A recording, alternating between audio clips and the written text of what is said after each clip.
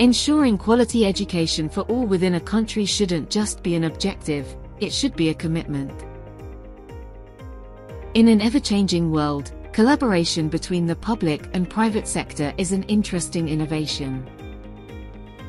In Uruguay, such a partnership has been forged in Ceibal en Inglés, a public education program, with private language institutes delivering English language classes via video conferencing in Uruguay.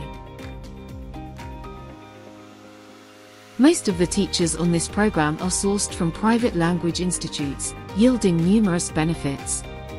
Let's explore them. Access to additional English teachers without infringing upon public sector policies.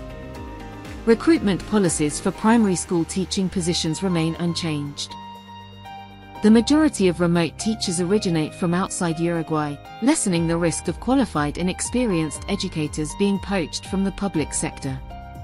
Flexible payment arrangements enable addressing subject shortages to be addressed without encountering political obstacles. Concerns with teachers' unions are mitigated, helping ensure members are not adversely affected. Contractual responsibilities are overseen by the contracted institutes, offering diverse employment terms to teachers. A close partnership between Ceibal en Inglés and institutes has led to a culture of rigorous quality assurance, leading to high-quality teaching.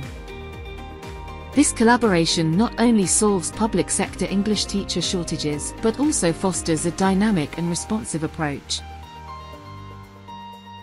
Through collaboration, we can achieve greater success in delivering quality education for all.